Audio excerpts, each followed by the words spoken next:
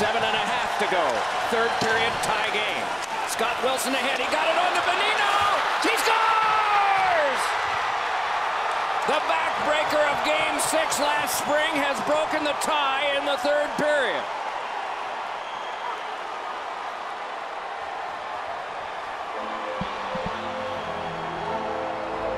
Nick Bonino again. Quick up. Space in between Shattenkirk and Orpik. Goes off the blocker into the back of the net, but the quick up. And Bonino scores to give the Penguins a one-goal lead. What a play by Scott Wilson. He heard Bonino call for the puck.